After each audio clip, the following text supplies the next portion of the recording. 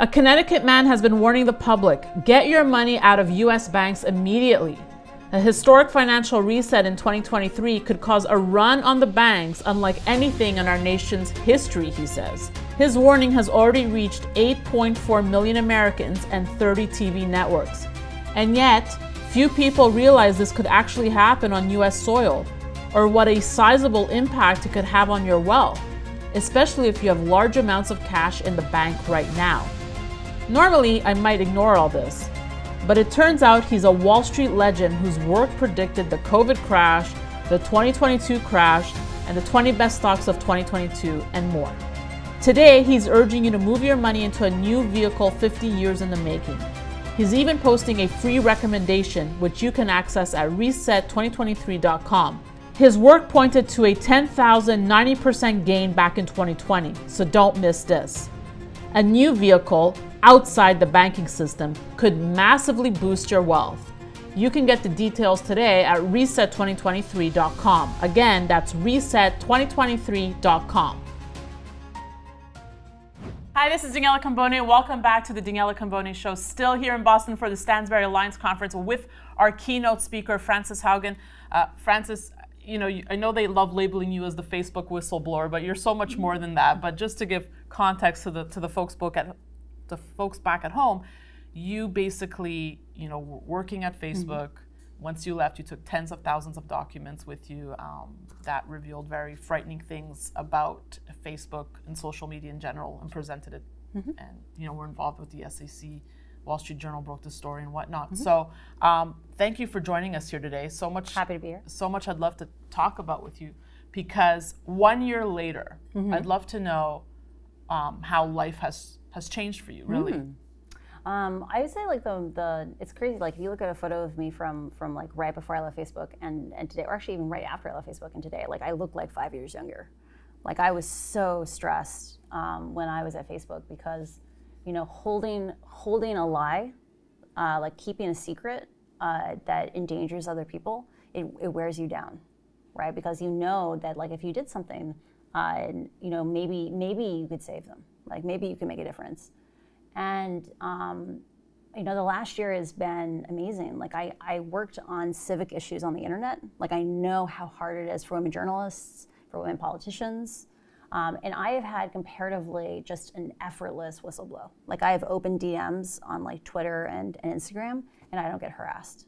And you don't get I harassed. don't get harassed. I know it sounds it sounds impossible right? So this is a huge, huge yeah. win here. Huge win. Okay. Huge win. I know, like for for, for like right. the guys out there, you might be like, is that really such a big yes. thing? But but no, like we we've been facing a situation where of like for, for 20 years we've yeah. had more and more women politicians, and only in like the last two years has it gone down globally, and it's because um, women like very senior women are saying I get too many death threats, and I have never gotten a death threat. I've gotten like maybe one or two people in the entire time who were like, "You're a shill," or like, right. "You're a crisis actor." But beyond that, it's been I sleep better at night. Well, that like must have been so, you know that must yeah. have been a concern for you. So like mm-hmm. take us back, you know, and I know you've recounted mm-hmm. your story. You know, tens of thousands of times by now. But you know, you entered all our living rooms. You became a household name. Mm-hmm. Everyone mm-hmm. knew your face. I mean, and here you are. You're at Facebook. You mm-hmm. know, you you have an incredible career. You're at one of the best places you know to work at in the world that people would want this job, mm-hmm. and you decided to leave, take the hmm. documents with you. Tell me a little bit about what was going through your mm. mind, like where you found the courage to say, I'm going to completely have an upheaval mm. of my life here? Well, I think there's two, there's two parts to that question. So the first is like, I, I never expected to come out. Like part of why the documents are right. so extensive was that I wanted them to be able to stand on their own. Like I, I, I, I know it sounds crazy, like given how much media exposure I have, but like I've, I've had like two birthdays in 20 years. Like I eloped the first time I got married. I tried really hard to have a wedding the second time, and we still ended up eloping this summer. Um, uh, and like I never intended to come out. And um, my lawyers were like, "Hey, like Facebook know is going to know who you are the second right. the reporting happens." Like you are delusional if right. you think you can, like right. if you want to take the risk of Facebook introducing you to the world. Um, but the secondary thing is like what made me actually act. And um, I, I, I have an MBA from Harvard, and I took a class on change management, which sounds like you know consultant buzzwords, um, but you know change management is a major field of study because it's really hard for organizations to change. Now think of how hard it is for an individual to change. When it comes to, to groups of people, there's there's um, all these past decisions, this inertia. You really have to pick a vanguard. You to say this group of people is the future. We, the leaders, are going to endorse them. We're going to back them. We're going to protect them, and then we're, we're going that way. And Facebook did that for four years. So after the 2016 election, they said we were massively asleep at the wheel. Yes. There was this giant Macedonian fake news network. Yes. There were all these other problems. Um, Russia was involved. Uh, we're gonna we're gonna do the right thing. And they built up a 300 person organization. And right after the 2020 election, they dissolved it. And when they announced to all of us, you know, we're integrating you into the other parts of the company, I knew that there was no chance that Facebook could save itself. And, and for context on the stakes, you know, in the United States, we think we have a, a Facebook problem or a social media problem. We use the cleanest, most sanitized version of Facebook in the world. Like they invested, for example, for misinformation. In 2020, 87% of the operational budget for misinfo was spent on English, even only even though only 8 to 9% of users spoke English. They want people in the United States, the people who could regulate them, to not think the product is as dangerous as it is. So the, the focus was on let's try and clean up the appearance in the in, United the states. States. but the rest of the countries by the other countries by the wayside. And and in and in 2021, so like between when I made that decision and when I came out, um, Ethiopia blew up. So Right. so there'd already been this giant mass casualty event in Myanmar, and then Ethiopia starts unfurling, you know, end of 2020, beginning of 2021. And, and uh, this is probably a very big question, but why why do you think there is this lack of ethics? Hmm. I think it's this, you know, I think part of the problem is, you know, to get a job at a place like Google or a place like mm. Facebook, you have to take all of your electives and spend them taking CS classes. Mm-hmm. And CS curriculums are usually quite full to start with, so you don't have a lot of wiggle room anyhow. And so we're teaching young people to have, you know, godlike powers and very little wisdom on how to use them. And so inside of Facebook, they set up an organizational structure that allowed people to um, kind of wash their hands of culpability. They said, you know, the things that matter are moving these metrics up. Right. We've like what agreed to it. traffic, Things uh, like engagement, engagement, users. Yeah. So So it's like hit these metrics at any cost. like if these things go up, it's good. okay. And, and, and, and it was meant to be liberating. You know, it was like we can be a startup still if we just set good goalposts and then let people run however they want to get to those goalposts. And unfortunately, that same system devalues individual leadership or individual perspective. And so when people began to raise questions around had changes they made in 2018 actually made the system way more dangerous, people didn't feel empowered to actually go in there and fix the system. It was a learned helplessness, I, I, would say. I, I know in past interviews you've said that you don't think that Mark Zuckerberg set out to create this. oh, I, uh, you know, th- those were not Yeah. the intentions. Now it evolved into this. Um, but were you able to discuss directly with him? Or Oh, no, no, no, no. The- it doesn't I- happen like that. that uh, Facebook, it's funny, for as flat as Facebook is, it is also in some ways very hierarchical. So, so uh, you know, Mark mostly deals with the people immediately around him, and maybe a couple levels down. Yeah. And part of why things like Myanmar happened was because Right. there aren't channels inside the company for bad news to go up. You know, I'm not. I'm mostly on Twitter. Um, Yeah. I'm not a user of Mm-hmm. TikTok, and I want to talk to you about that. Um, I am on Instagram and a little bit. And let's I, talk a I little. I tried editing a TikTok video for the first time Oh. this morning. I was like, I wonder how people make TikTok. So videos. I'm not this, you know, social media guru by Yeah. any standards, but um, when we look at the effects on young women of Instagram, Yes. right? Um, I don't think much has changed. The Yeah. pressures and Yeah. Mm-hmm. what, what we're being fed constantly. I mean, how do you see? Do you think there has been a change? Am I wrong in my analysis of that? I think it's still yeah. extremely dangerous. So to give context to viewers, um, what the research shows is that there's a there's a couple of particularly dangerous windows for, for, for kids. So when they go are going through puberty, so this is like ages like 10 to 13, Yes. literally uh, children's brains are changing, and because they're getting literally more oxytocin and dopamine receptors, you and I are never going to get a compliment for the rest of our lives Right. that feels as good as a 12 year old who's been told their genes are awesome right? We're never going to get that. But unfortunately, in a social media context, that same incentives it makes both the positive and the negative reinforcement much, much, much worse because they're just more vulnerable to it.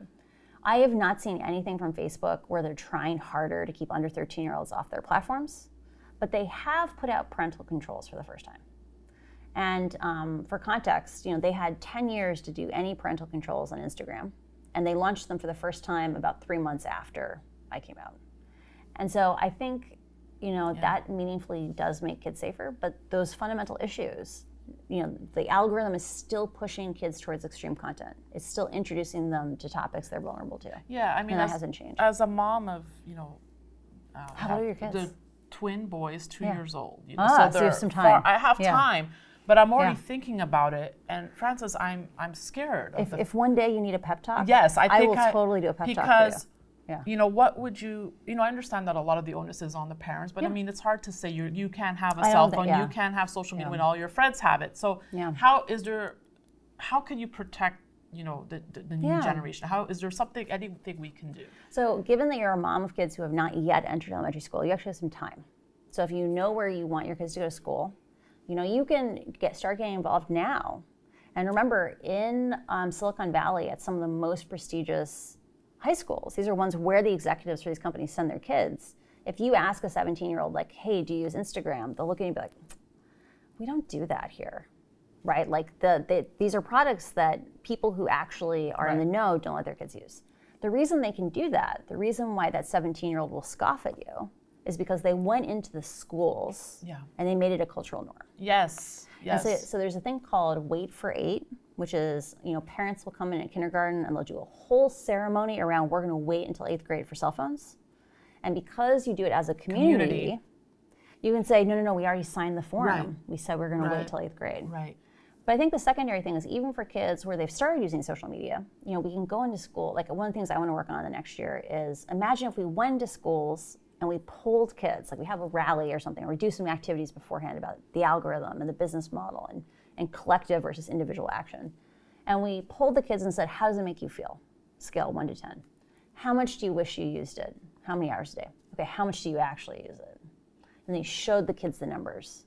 And imagine if you let the kids vote on what should the rule be for the school.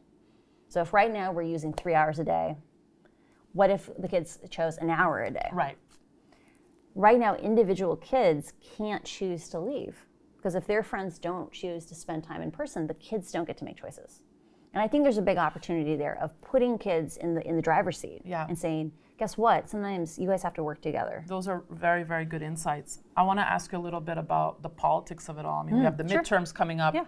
Obviously, we'll have a huge presidential election around the corner. Uh, we saw what happened last time with mm-hmm. Facebook. Uh, you've said you're, you're not very uh, hopeful for the changes that have come from yeah. from the company. So and they've cut that election too. So yeah. with the election on the horizon, what you know, what do you see unfolding? The same. One of the things I'm particularly concerned about is, um, you know, we have such close elections that you can. One of the things I worked on while I was at Facebook was on something called narrow cast misinformation. So you have viral misinformation, and then you have targeted misinformation. And uh, you know, back during the 2020 election, there were teams that were actively watching for things like voter disenfranchisement.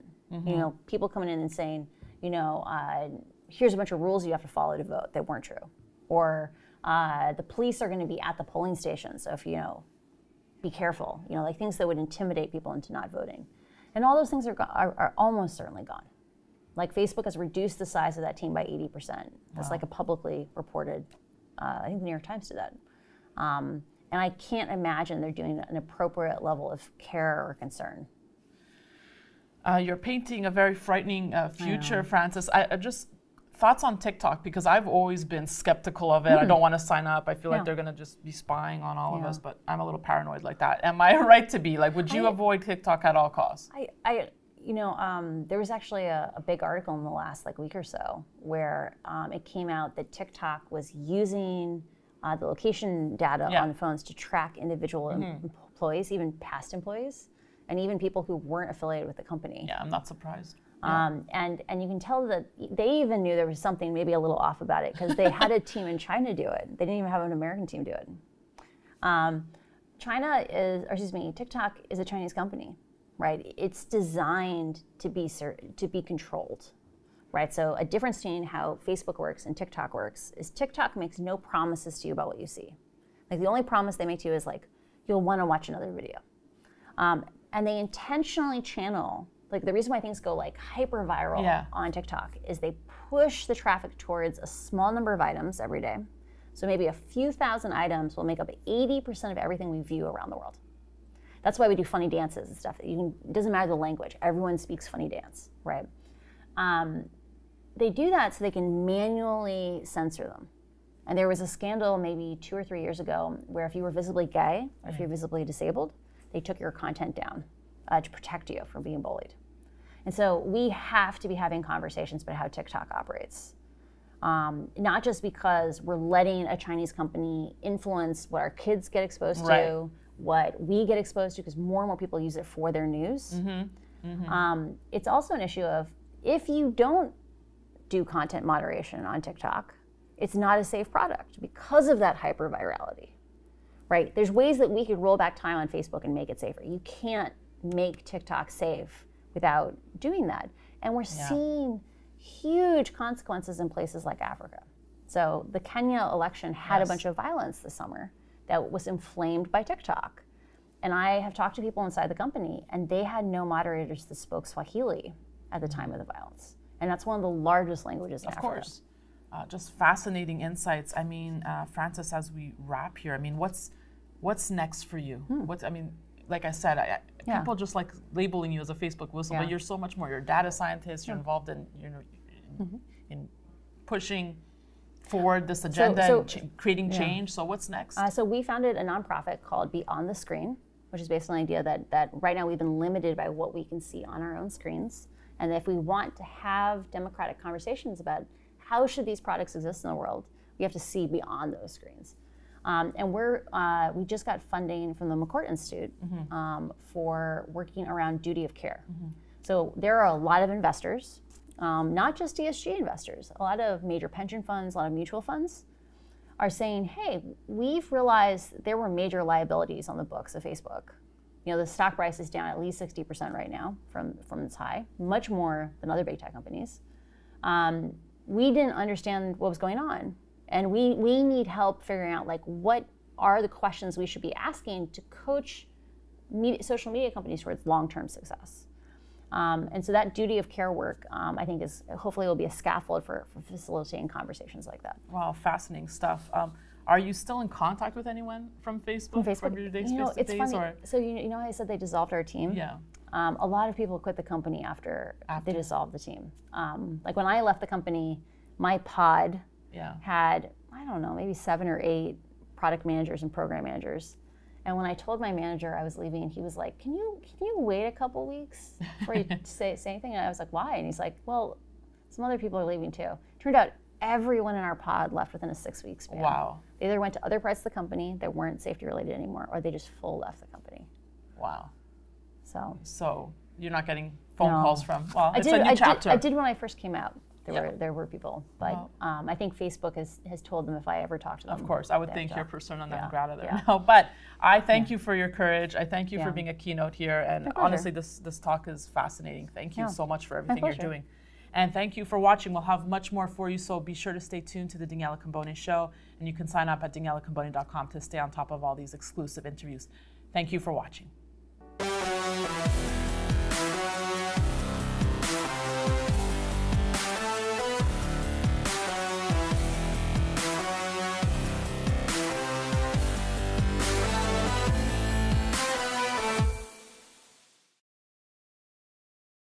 Opinions expressed on this program are solely those of the contributor and do not necessarily reflect the opinions of Stansberry Research, its parent company, or affiliates.